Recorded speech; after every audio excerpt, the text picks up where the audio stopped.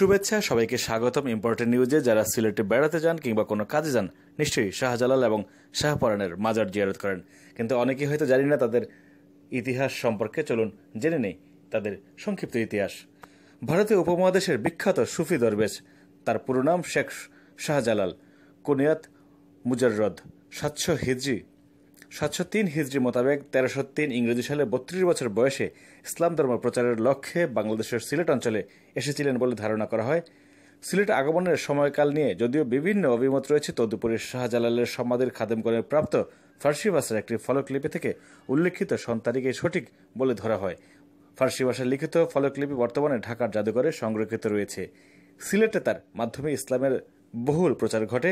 সিলেট বিজয়ের পর শাহজালালের সঙ্গী অনুসারীদের মধ্য হতে অনেক পীর দরবেশ এবং তার, তাদের পরে তাদের বংশধরগণ সিলেট সহ বাংলাদেশের বিভিন্ন স্থানে গিয়ে বসবাস করেন। শাহজালালের সফর সঙ্গে ছিলেন তিনশো ষাট জন আউলিয়া।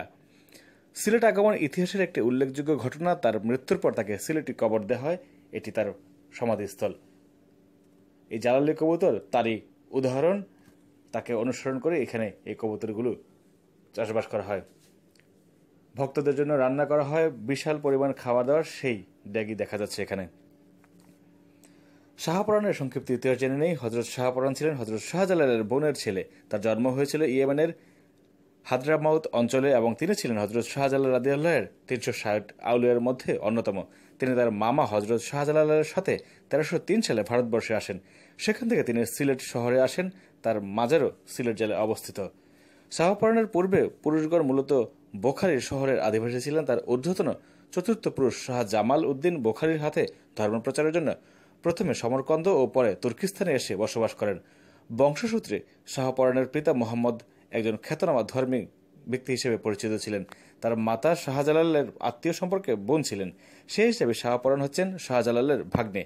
শাহপরানের বয়স যখন এগারো বছর, তখন তিনি তার পিতাকে হারান। পরবর্তীকালে তার আত্মীয় প্রখ্যাত দরবেশ সৈয়দ আহমেদ কবিরের কাছ থেকে ধর্মশিক্ষায় দীক্ষিত হন।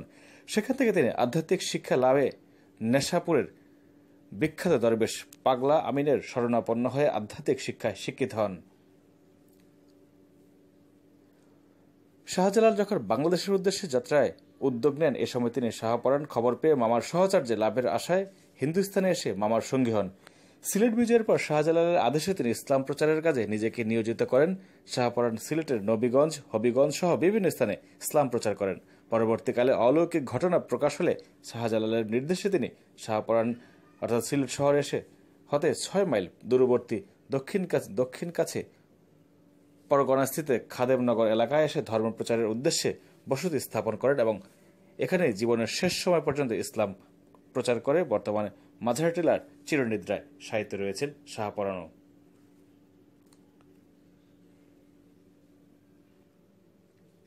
এসব মাঝার কেন্দ্রিক এখন নানা ধরনের বাণিজ্য চলে, সেসব বাণিজ্য থেকে সাবধান থাকবেন, তবে নিজের মন, মনন এবং ভক্তি নিজে সমর্পণ করবেন, নিজেই মাজার জিয়ারত করবেন, কোনো ধরনের দালালের খপ্পরে পড়বেন না, তবেই সহি সালামতে এবং সুস্থভাবে, সুন্দরভাবে তিনি আপনারা মাজার জিয়ারত করতে পারবেন। আমাদের ভিডিও ভালো লাগলে শেয়ার করবেন। বন্ধুদের সাথে নতুন ভিডিও পেতে চাইলে সাবস্ক্রাইব করে পাশে থাকবেন। ধন্যবাদ সবাইকে।